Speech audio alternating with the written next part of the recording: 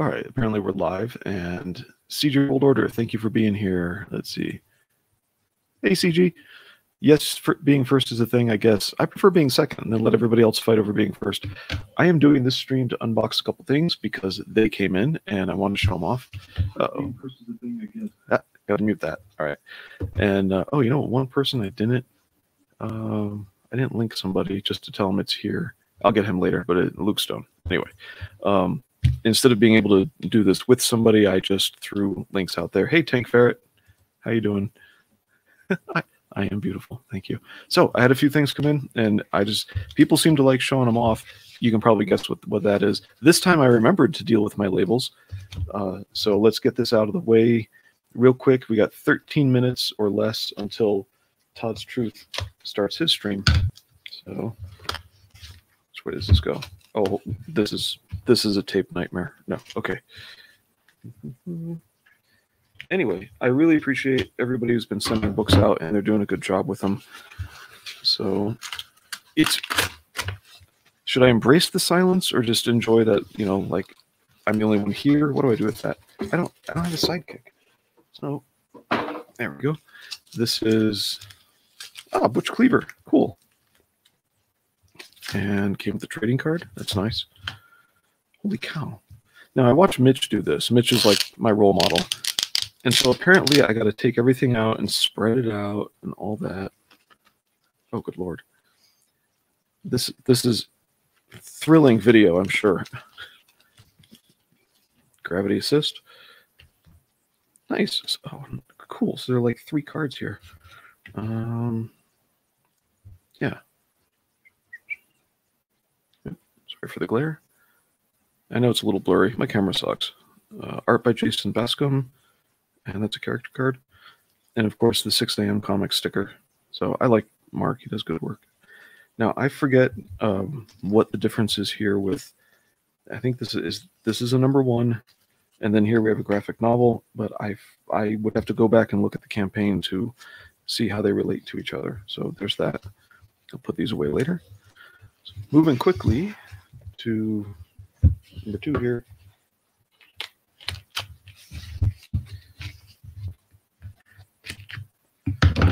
Brian Kriskow was showing this off the other day on uh well, that that was effective. By the way, I might become a colorist. I found these in a box. I'm ready to become a colorist now. yes, it's terrible. Oh, the shredding. Oh, what is this? This is like Mardi Gras stuff. Cool. Yeah.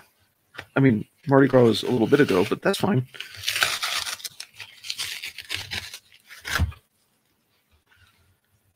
I wonder if this is just a toy or if it's chocolate. It looks like it's just a toy. Okay. Cool. I hope I didn't ruin it there. Oh, I may have. So, a lot of fun from over in, yeah, peeled a little paint off. Fun from over in uh, New Orleans. And I guess I did not. Ah, yeah, that's right. Go in. There we go. So we got the Chronicles of. I can't read that upside down. Oh, Count Carlos. All right. And God's Hand. Holy shnikes. You know, you tell people you like trading cards, and suddenly everybody's got them.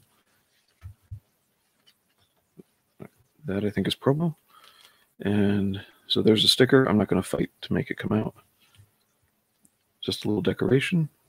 Cool. Yeah, there are record companies that sometimes take their the center seal of their um of their records, you know, with the hole in it, and hand those out as promos too. Oh, nice. He signed this one. So there's one on the front. That's better. There's one on the front. Sorry, it's kind of grainy. And another one on the back. Dude, my my focus is terrible. I apologize. But these are signed up there. Bookmark. One print a hot print. Very hot. It's really cool. Hey, thanks, Anthony. I appreciate it. And um, another promo thing for what is this? Oh, Justice City Chronicles. So that's coming up. All right, nice, Anthony. I'll dig into this later. We'll find out about it. And last but not least, the third thing. This before I go and I try to do some reviews. See, I remember to take care of my labels this time. I had peeked in this before, but if you guys know Luke Stone with the um uh was it hybrid hybrids book, I really dig. Oh, hey Ian, is it a fancy spinner? No. In fact, I don't know which which it you're referring to, Ian. But anyway, uh, no, it is not a fancy spinner. so, with Luke, there's a lot like I'm good with trading cards, but I normally don't get into paraphernalia and I say I avoid all that paraphernalia. And then you find like the one thing you just have so much fun with that you break all of your rules. And that would be Luke Stone's properties. I don't know why I like it, but he's got a mug, which is on his Indiegogo campaign right now. Check that out. Oh, the gold thing. No, it is not a. I don't think it's a spinner. It does have a crease in it or a, a seam on the edge. I don't know Mar- Mardi Gras. You're probably smarter than me on that one. So anyway, there's that. But here's Luke's mug with all of his characters and of course his big guy. So if you are left-handed, you get to see all of them, like so. The gold thing. Yep. Way, everybody, Tank. This is Ian. Um, CG World Order. This is Ian. Ian. This is CG World Order. Hope you all all can see each other. Oops. There we go yeah so this is cool um it looks like this is built for the obesity epidemic it looks like it's like nine ounces right across uh but that's nice the interior is black like my soul so you know we go together so nice all right thank you luke um he does still have these on his campaign and hey thanks for, oh there's mitch definitely not a spinner we got what's up guys and everyone ian says hello to you hi mitch let's see, we got eight minutes or seven minutes till um, till Todd's streaming later today, and I'm gonna go wash this, and uh, I guess use it. Everybody have a good night. Take care of each other. Love y'all. Bye.